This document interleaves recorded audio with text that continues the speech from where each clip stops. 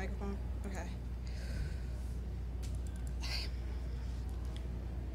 Throughout life, we encounter all sorts of obstacles. It's some are harder than others, and it's up to us if we want to pass them. I never stop fighting. It's in my blood, never giving up. And from a song by late singer Aaliyah, she said, if at first you don't succeed, dust yourself off and try again. Growing up in Lansdowne, I started playing softball. There's been plenty of times I just wanted to give up because I felt like I didn't have the skill to be good at this sport.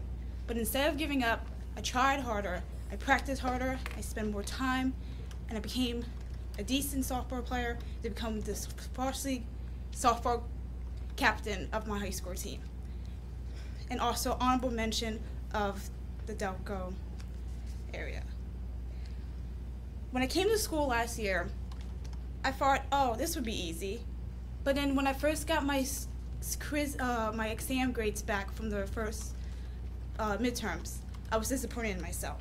But instead of giving up, I tried harder, I kept studying, and I realized computer science is not going to be an easy task. But if this is what I wanted to do, I would do it.